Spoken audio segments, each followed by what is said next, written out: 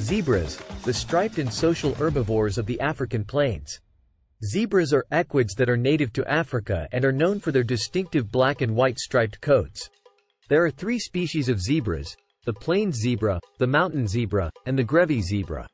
Zebras are actually black with white stripes, rather than white with black stripes. This is because the black color is the base coat, and the white stripes are created by the suppression of melanin. Each zebra has a unique pattern of stripes, which can be used to identify individuals, much like fingerprints in humans.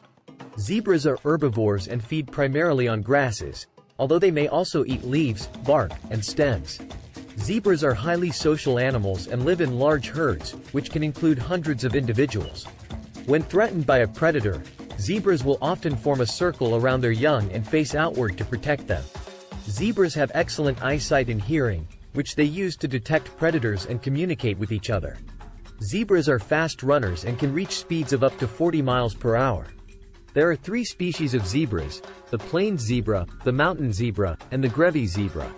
Zebras are preyed upon by a variety of predators, including lions, hyenas, and wild dogs.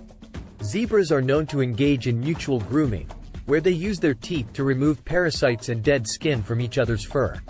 Unfortunately, zebras are facing numerous threats, including habitat loss, hunting, and competition with livestock for resources. Conservation efforts are underway to protect zebras and their habitats, including the establishment of protected areas and programs to reduce human-wildlife conflict. Thanks for watching. Subscribe at Train a pet.